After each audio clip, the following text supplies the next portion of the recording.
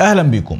بتلعب الصدفة أحيانا كتير دور مهم جدا في الكشف عن الأشياء الغريبة من حوالينا. في بعض الأحيان بتكون في قصص مختلفة زي إن التفاحة وقعت على راس نيوتن فاكتشف الجاذبية. لكن في أوقات تانية بيكون عنصر من الحقيقة باين جدا في الموضوع. وهي دي الحالة اللي كانت لاكتشاف أقدم اندماج لزوج من الكويزرات في الفجر الكوني. بدأت القصة مع فريق دولي بيقودوا مجموعة من علماء الفلك في اليابان. بالتحديد في جامعة إيهيمي بقيادة يوشيكي ماتسوكا. وأثناء فحصه اليدوي للصور مع فريقه لاحظ بقعة حمراء خافتة جدا. على الصور دي. صورة التقطتها كاميرا Hyper Suprime على تلسكوب سوبارو بهاواي. الخوارزمية الآلية اللي كانوا بيشتغلوا بيها لفحص الصور تجاهلت الصور دي. المفروض بقى خلاص يعني أنسى الصور ومخنا أحسن من الخوارزمية.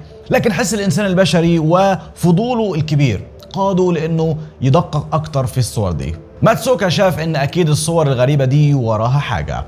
وقرر يبدأ عملية فحص وبحث في الصورة دي. وعلشان يعمل فحص أكبر استخدم أداة تانية على تلسكوب سوبارو كاميرا الأجسام الخافتة ورسام الطيف اف أو سي اي اس كمان استخدم مقياس الطيف للأشعة تحت الحمراء القريبة على تلسكوب مرصد الجوزاء الشمالي Gemini North. وبعد الرصد والبحث في الصور الجديدة ظهرت المفاجأة الكبيرة. اكتشف ماتسوكا وزمايله زوج من النجوم الزائفة الكويزرات. بتحصل ليها عملية اندماج بعد أقل من مليار سنة من لحظة ولادة وخلق الكون. اخبط ال like الجميل وتابع معانا حلقة ممتعة وشيقة وجذابة. هنتعرف فيها على حجر رشيد الفجر الكوني ونحل ألغاز الكويزرات اسطع أجرام السماء. ونشوف حدث أقدم اندماج مجري بين اتنين من أضخم الكويزرات في الفجر الكوني.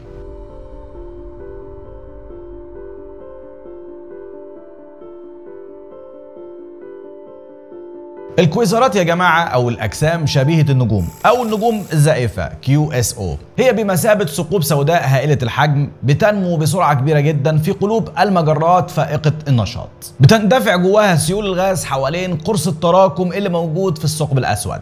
بتعلق هذه السحب النشطة من الغاز في عنق الزجاجة الخاص بقرص التراكم. الحلقة الساطعة اللي حضرتك شايفها حوالين الثقب الأسود اللي بتكون في درجات حرارة عالية جدا. قبل ما تسقط المواد دي في الثقب الأسود.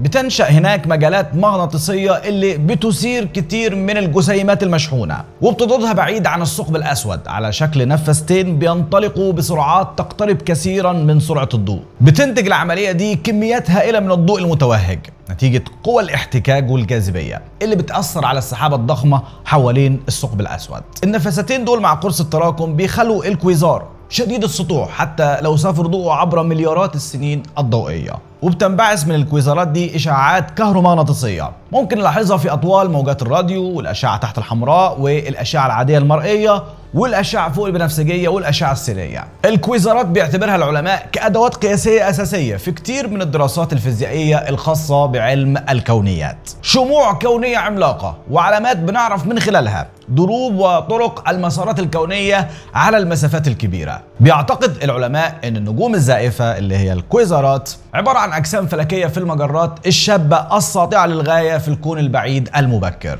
علماء الفلك في 17 يونيو الجاري 2024 رصدوا اثنين من الكويزرات اللي بتندمج قبل 900 مليون سنة من لحظة الانفجار العظيم. نفس الزمن اللي بدأت فيه المجرات الأولى والنجوم البدائية في التشكل. وبكده يصبح الكويزرين دول أبعد وأول اندماج بيحصل تم رصده في حقبة الفجر الكوني. عمليات اندماج المجرات في العصور المبكرة بتعمل على تغذية النجوم الزائفة اللي هي الكويزرات. وبالنظر إلى أن كل مجرة كبيرة بتحتوي على ثقب أسود مركزي وحشي عملاق لما بتتصادم المجرات دي أكيد بالتأكيد هتندمج معاها الثقوب السوداء الهائلة المركزية. اندماج المجرات بيؤدي إلى عملية تركيز ضخم وهائل للمواد في مركز المجرة. طبعا في العصور الحديثة من الكون تم رصد كتير من الأدلة على عمليات الاندماج في مراكز المجرات اللي بتحتوي على ثقبين أسودين فائقي الضخامة. العلماء توقعوا على أنهم يكتشفوا كتير من الكويزرات اللي جنب بعضها واللي ممكن تكون في عملية اندماج بسبب صغر حجم الكون في الزمن المبكر من خلال الاندماجات المجرية اللي هي سمة من سمات العصر ده. لكن العلماء اتفاجئوا إنهم ولغايه النهارده ما اكتشفوش أي اندماج بين الكويزرات في الفجر الكوني لغاية ما تم الكشف الجديد اللي طال انتظاره. تم رصد الكويزار المزدوج اللي تحت الرقمين اللي هيظهروا قدامك دلوقتي. واللي بيشير ليهم العلماء بالرمزين C1 و C2 واللي تم رصدهم زي ما قلنا من شوية باستخدام تلسكوب سوبارو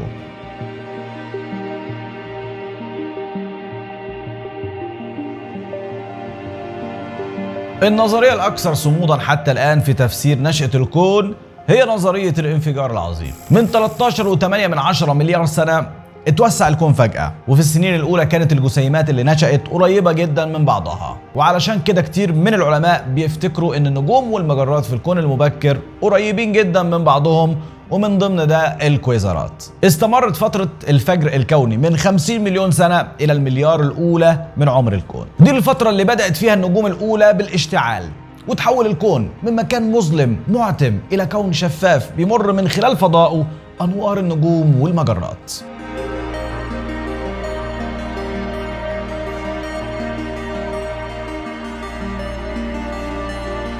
كان تأثير الضوء الفوق بنفسجي على السحب الكونية المتكونة من الهيدروجين كبير وحاسم.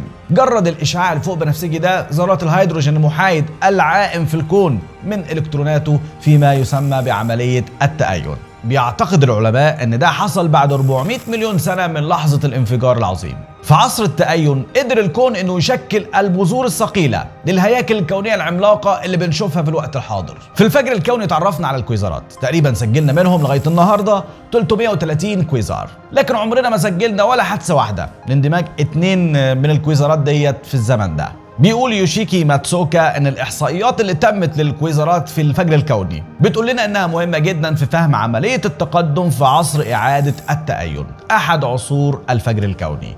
إزاي حصلت العملية دي؟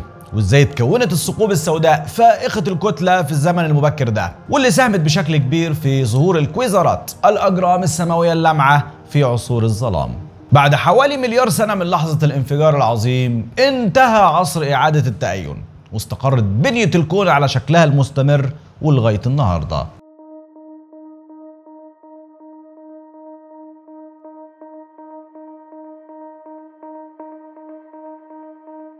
لما فحص ماتسوكا الصور ولقى مصدرين متشابهين في الصورة بيتصفوا بالحمرة الشديدة. عرف علماء الفلك إن الإنزياح الكبير ناحية اللون الأحمر بيحصل بسبب تمدد وتوسع الكون. وعلشان كده العلماء اللي بيدرسوا الفجر الكوني دايما بيلفت انتباههم أي جرم فلكي بيميل للإحمرار. كان على ماتسوكا وفريقه إنهم يتأكدوا إن الجسمين اللي شايفينهم في الصورة جسمين منفصلين مش صورة لجسم واحد. أصله في بعض الأحيان بيكون في نص كده عدسة جاذبية بتحني نسيج الزمكان فبتبان المجرات البعيدة مرتين في الصورة بسبب الانحناء الشديد ده. كمان النجوم والمجرات الأمامية بتأثر وتصعب عملية الرصد. وهنا حبيت أجاوب على سؤال أحد المتابعين وتحديدا من الأخ إسماعيل الأشول اللي سألني في التعليقات سؤال بيقول كيف يستطيع تلسكوب جيمس ويب أن يصور النجوم والمجرات البعيدة جدا جدا بالرغم من وجود مليارات المليارات؟ من النجوم والكواكب بين تلك النجوم والمجرات وبين التلسكوب. يعني يفترض إن تلك الأجرام السماوية تعيق الوصول إلى الأجرام البعيدة. وهنا هقول لك اللي استخدمه الفريق الياباني من تقنيات علشان نعرف مع بعض إزاي قدروا يفصلوا بين الأجرام البعيدة دي وبعضها البعض.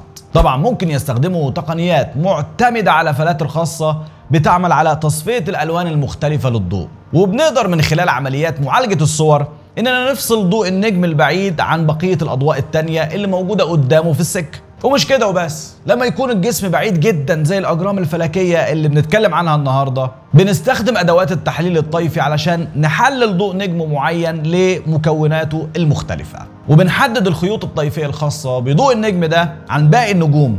وبنفصلها بعد كده عن النجوم الأمامية. ومن ضمن الحاجات اللي بتخلينا نميز ضوء النجم عن بقية النجوم بس بنستخدمها مع النجوم الأقرب شوية علشان كده بيكون رصد النجوم البعيدة غاية في الصعوبة بل يكاد يكون مستحيل. النجوم البعيدة صعبة إلا لو كان عندنا تلسكوب قوي وبيصور مثلا كويزار عملاق في الفجر الكوني أو انفجار سوبر نوفا ساطع. بنعرف من خلال حركة النجم ده إننا نعمل بعض القياسات اللي بتخلينا نحدد موقعه في السماء وبكده نقدر نفصله عن بقية النجوم اللي حواليه أو قدامه وقياسات ضوءهم مختلفة عنه. كمان العلماء بيستخدموا الأطوال الموجية المختلفة التانية من الضوء زي الأشعة السينية والأشعة الفوق بنفسجية والأشعة تحت الحمراء. واللي بقياسهم بنعرف خصائص كتيرة للنجم بنقدر من خلالها نميزه عن بقية النجوم. لو حابين نعمل حلقات مش حلقة واحدة مفصلة عن القياسات اللي موجودة في الفضاء وإزاي بنعرف بعد النجوم عننا بالتفصيل اكتبوا لنا في التعليقات. المهم الفريق الياباني وعلشان يعرف يعمل تحليل طيفي ويتأكد من الصورة استخدم كاميرا الأجسام الخافته FOCAS اللي اتكلمنا عنها في بداية الحلقة والمتركبة على تلسكوب سوبارو. كمان مقياس جيميني الطيفي للأشعة تحت الحمراء القريبة ال GNIRS. واللي من خلاله قدر العلماء إنهم يحللوا الضوء المنبعث من اندماج الكويزرين إلى أطوال موجية محددة حسمت الموضوع وأكدت عملية الاندماج. ماتسوكا بيقول إنهم اتعلموا إن الكويزرات بالرغم من أنها أسطع أجرام السماء إلا إنها لشدة بعدها عننا في الفجر الكوني خافتة جدا. ومن الصعب اكتشافها باستخدام الأشعة تحت الحمراء القريبة حتى لو استخدمنا أقوى تلسكوبات الأرض. ضوء سافر في الكون. مسافة 12.9 من عشرة مليار سنة. اتعرض لانزياح أحمر شديد. وامتد لأطوال موجية أطول مع توسع النسيج الكوني. علشان كده الضوء القوي للكويزار اللي بدأ كأشعة سينية أو فوق بنفسجية. انتهى بيه المطاف لغاية ما وصل المسافة دي كلها. لغاية عندنا هنا على كوكب الأرض. إلى ضوء أحمر باهت يا دوب نشوفه بأقوى عدساتنا التلسكوبية. الصورة اللي حضرتك شايفها قدامك دي اتصورت بكاميرا Hyper Suprime-Cam. الكاميرا المثبتة على تلسكوب سوبارو واللي أظهرت زوج من النجوم الزائفة أثناء عملية اندماج. واكتشف العلماء من الصور والأطياف والبيانات اللي حصلوا عليها على وتيرة متزايدة من تكوين النجوم المحيطة بالكويزار في المجرة. فالكويزار C1 بينتج 100 كتلة شمسية سنويا والكويزار C2 بينتج 500 كتلة شمسية سنويا. مقارنة بمجرتنا درب التبانة اللي بتنتج 10 كتل شمسية ضعف تكوين المجرات دي في الكون المبكر. وده أمر طبيعي بين مجرات العصر المبكر والمجرات الضخمة في العصر الحديث اللي بتنتج وتعمل وبتكون حجمها أكبر بكتير من مجرات الفجر الكوني. الثقبين الأسودين اللي حصل ما بينهم عملية اندماج انتقلوا لمسافة 40 ألف سنة ضوئية تقريبا 12 ألف فرسخ فلكي. بالرغم من أن دي مسافة كبيرة جدا بالنسبة لنا تخيل صديقي المتابع الشغوف بالعلم المحب للمعرفة اندماج بيحصل على مسافة 40 ألف سنة ضوئية. أمال الجسمين دول حجمهم قد إيه في الكون؟ الفريق الياباني استخدم مصفوفة أتاكاما المليمترية. واللي اكتشفت وجود جسر من الغاز بيمتد على المسافة دي ما بين C1 و C2 وبكده تأكد إن الثقبين الأسودين متصلين ببعضهم بجسر كوني طويل من الغاز بيمتد على مسافة 40 ألف سنة ضوئية. وجود C1 و C2 هو دليل قوي آخر على وجود مجرات وثقوب سوداء في الفجر الكوني. نمت واتطورت بسرعة وشكلت أحجام وكتل هائلة غير متوقعة. تخيل كتلة الثقب الأسود المقاسة دي وصلت ل 100 مليون كتلة شمسية. في حين أن الثقب الأسود الضخم في قلب مجرتنا درب التبانة لا تتعدى كتلته ال 4.2 من عشرة مليون كتلة شمسية. اكتشاف الكويزار المزدوج ده بيوفر لنا فهم أفضل للكون المبكر. وخاصة في عصر إعادة التأين واختفاء الحاجب الكوني العظيم.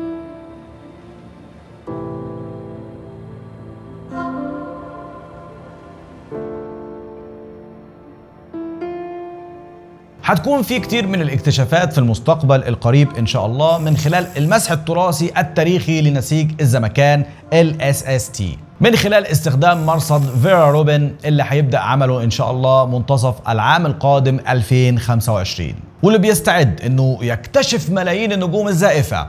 الكويزرات أسطع أجرام السماء. بقدرات تصويرية خارقة ما حصلتش قبل كده على أي تلسكوب تاني على وجه الأرض. الكويزرين اللي شفنا صورهم من شوية. شفناهم في الماضي على بعد 12.9 من 10 مليار سنة من النهارده. إيه اللي حصل لهم الوقت ده ولغاية النهارده؟ الفريق بالتعاون مع فرق تانية عملوا عملية محاكاة للثقبين الأسودين اللي موجودين زمان في عملية اندماج.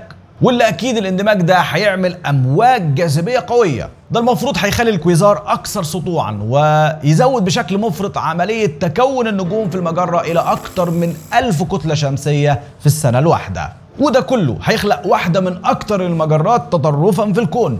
وإن المجرة المضيفة للكويزار ده ممكن تكون في المستقبل مجرة إهليجية ضخمة عملاقة زي مجرة ميسيه 87 اللي موجودة في قلب عنقود ضخم شكرا لكم للمتابعة. لو عجبتكم الحلقة ما تنسوش الدعم بالضغط على زر الإعجاب اللي بيخلينا مستمرين. ولو مش مشترك في القناة اشترك وتابع الحلقات اللي فاتت وفعل زر الجرس علشان تتابع معانا الحلقات اللي جاية. وعلى وعد بلقاء جديد في إنفوسفير ولاف معلوماتي رحلة الحياة بين العلم والدين والخرافة. تحياتي محمد فهمي سليم. سلام عليكم.